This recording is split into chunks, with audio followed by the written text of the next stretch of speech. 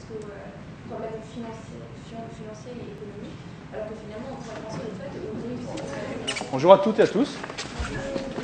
Aujourd'hui, l'événement de ma journée, très clairement, c'était ce rassemblement avec euh, les jeunes Européens issus des 28 pays de l'Europe avec qui j'ai eu une discussion la plus libre possible. Je pense une chose qui pourrait être un peu mieux pour venir ici, c'est quand même donner un peu plus d'informations aux étudiants. Aux États-Unis, aux universités, euh, c'est difficile d'y entrer. Euh, on doit faire beaucoup d'efforts pour entrer, mais après, une fois accepté, ce sont les universités qui essayent de faire venir l'étudiant Moi, c'est Brian, j'ai 20 ans, je viens d'Irlande, de, Dublin plus précisément. J'ai eu une difficulté par rapport au travail.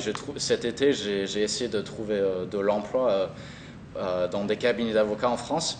Et euh, à chaque, fois, on m'a demandé de signer une convention de stage. Et le seul problème, les conventions de stage sont très mal rémunérées euh, en France. Financièrement, euh, c'était très difficile pour moi de rester en France cet été parce que je paye 600 euros chaque mois pour mon loyer et on me proposait 436 euros pour mon stage. On dit que pour la France, la priorité au niveau européen, c'est la jeunesse. Je crois que pour bien ressentir ce qu'elle attend, ce qu'elle souhaite, le mieux, c'est vraiment de la convier pour ensuite, comme responsable politique, en tirer des conclusions et impulser, infléchir. On est en plein débat pour savoir si on doit faire l'union bancaire.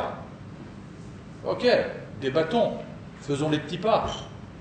Mais les gens de votre génération vont la faire totalement sur la base de ce qui a été un peu construit par les prédécesseurs.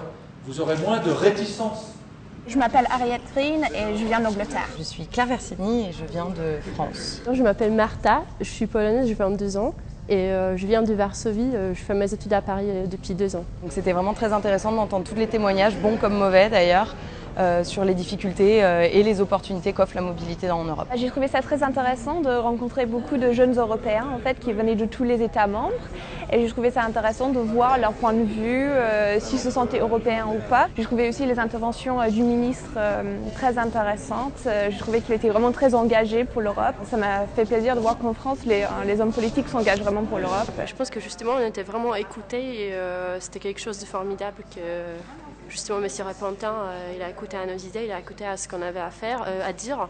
Et euh, bah, j'espère bien que bah, on pourra assister à ce genre de réunion encore parce que je pense que c'était vraiment enrichissant. Ça a tout Je pense que c'est dans la voie.